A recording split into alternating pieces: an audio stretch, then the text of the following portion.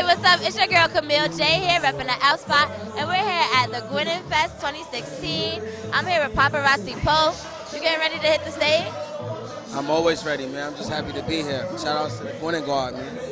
So, what can we expect from your performance tonight? I mean, you know, you're going you're gonna get some real, real like raw New York shit, and then I'm gonna give y'all that dab music. You know what I'm saying? That real, real. You know what I'm saying?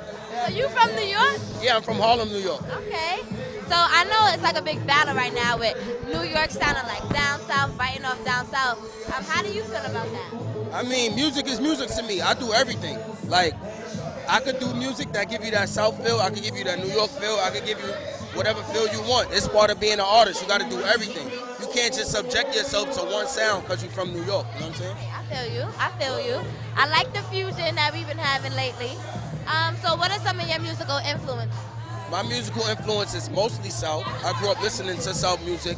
Tupac, of course. Big Pun, of course. DMX. You know what I'm saying? Like Cam'ron. You know, home team. So tell me a little bit about some of the projects you've been working on. I mean, Piff in the World Volume 3 just dropped. It's on that Piff right now. Um, Piff in the Volume 2 is out. The Rico Lords, which is my solo mixtape, is coming out. And then Smiley Face of Death, my EP, is coming out too. So working hard.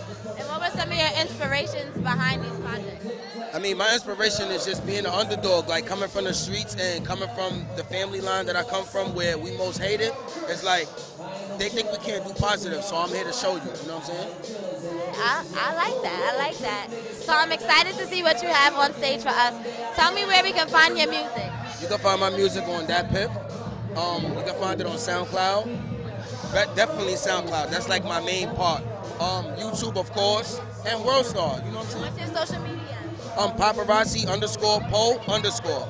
No E at the end of the Po. It's like Al Poe, not Edgar Allan Poe.